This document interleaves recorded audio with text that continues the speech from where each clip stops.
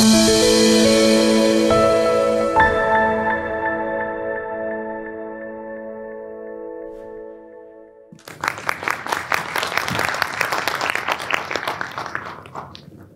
I want to get to probably the most important part of this talk, how to establish cause and effect. And I have three um, areas to talk about here.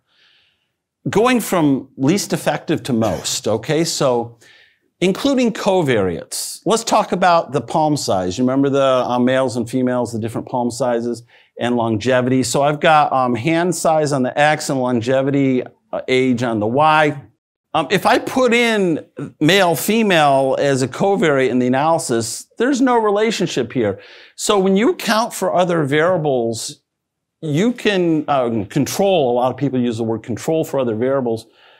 Um, you can do a much better job, job of finding out what's a true relationship and what's not. And in this case, we just eliminated really hand size as an important variable because it was explained that trend we thought we saw on the previous page was just explained by including uh, male, female in the model. So um, covariates uh, do uh, a decent job of attempting to control for these lurking or hidden variables. You remember I talked about that at the beginning. Multiple regression is the tool you'll use to most of the time to control for those lurking variables. Prism8 does have this multiple regression. And the challenge is um, we can't always identify all the, in fact, we very often can't identify all the variables that we need to include. And even if we could, we can't measure all of them. That's, it's very hard to account for everything and measure everything all in one analysis. So um, an observational data set that just has a bunch of decent covariates it probably isn't good enough, but at least it is an approach and it attempts to help you know what's cause and effect. The second uh, area is pure science. So certain things that you can map out. Here we've got smoking causes uh, changes in the D, mutations in the DNA, which leads to or lung cancer. And so scientifically, you can show that it's likely or logical that smoking causes lung cancer. The challenge here is it's difficult on science alone to say, you know, this will cause cancer in actual people because we all have different DNA and our bodies are complicated. And you really need to collect some data to, to understand how strong that cause and effect relationship is, if it exists. So science is, is nice, but the gold standard is randomization. So I want to talk about this. So clinical trials are all based on this concept of randomization you have your patients and you randomly assign patients to treatment and control with the hopes that all these extraneous variables, these lurking or hidden variables, get equally balanced in the two groups.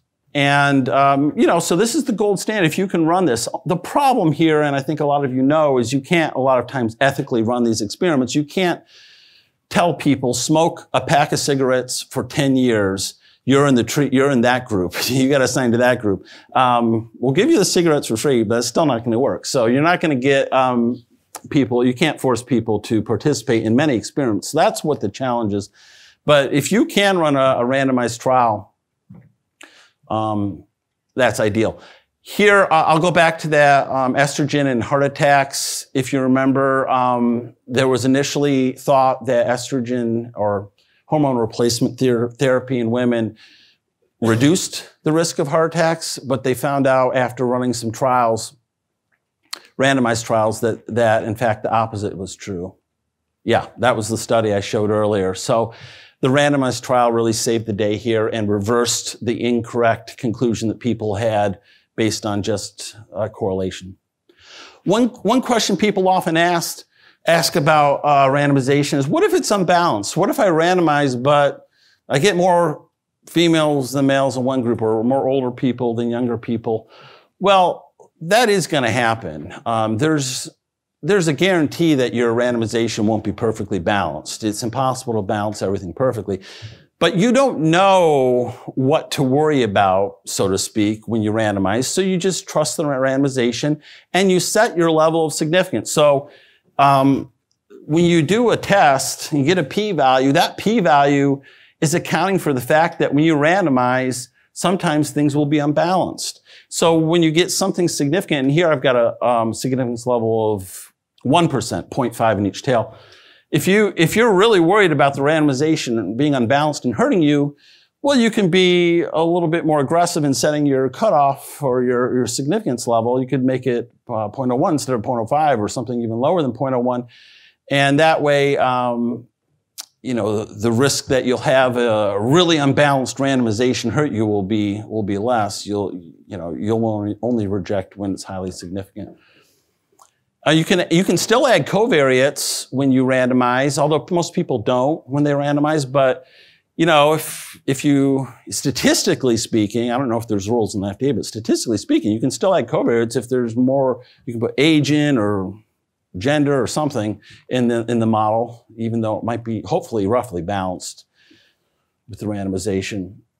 Also, set your inclusion and exclusion rules appropriately and before you collect the data, not after. You don't want to afterwards say, hey, you know, we should have excluded 75 and over because they're couple in the treatment group, I, I, didn't do that well. Let's get those. No, so you know, probably know you can't do that already, but um, yeah, so set your exclusion rules so that you don't have really extreme patients in your study that might happen to fall in one group or the other and really skew that result.